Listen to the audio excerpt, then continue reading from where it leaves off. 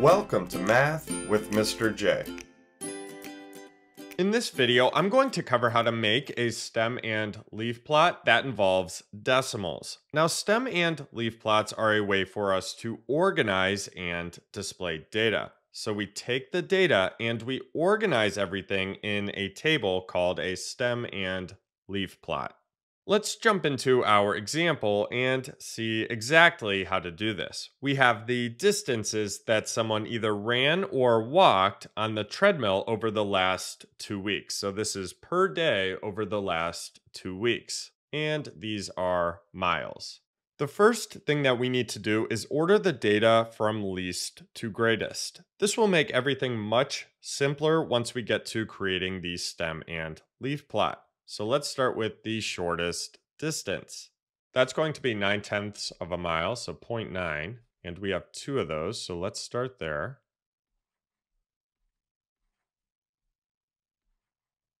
Then we have 1, 1.1, 1.4, 1.5, 1.8. Let's start a new row here, and then we have 2.2, then 2.3, 2.5, 2.6, then we have 2.8, then 2.9. And lastly, 4.1. Now that everything is in order, we need to create the stem and leaf plot. Let's draw out the stem side and the leaf side. We need a vertical line and then a horizontal line. The left column is the stem column and then the right column is the leaf column. Taking a look at the data, everything has a ones digit and a tenths digit, and we range from 9 tenths to 4 and 1 tenth. With stem and leaf plots, we split each value within a data set into a stem and a leaf. For example, let's take 2 and 6 tenths, and we're going to split this into a stem and a leaf. So the ones digits are going to be the stems and the tenth digits are going to be the leaves. Our next step is to list the stems. But before doing so, let's take a look at what our lowest stem will be and what our highest stem will be. That way we know what to list. The lowest ones digit is 0 and the highest is 4. Now let's list our stems. So we can start with our lowest of 0 and then work our way up to our highest of 4.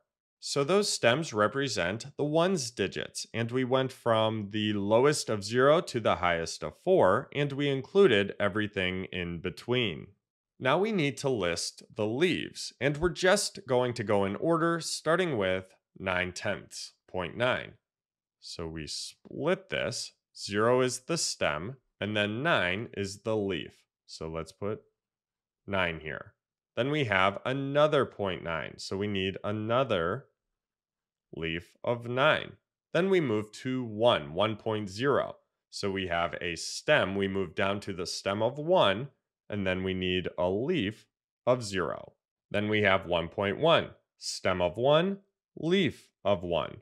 Next, we have 1.4, so we need a leaf of 4.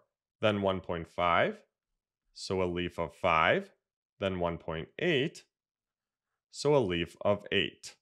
Now we move to 2.2, so we're moving down to the stem of 2, and we need a leaf of 2. Then we have 2.3, so a leaf of 3, 2.5, leaf of 5, 2.6, leaf of 6, 2.8, leaf of 8, and then 2.9, leaf of 9.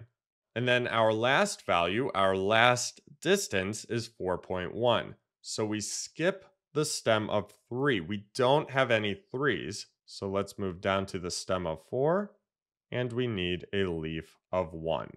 And that's it for the leaves. So we worked through the data and we kept everything neat, spaced, and aligned so it's easy to read.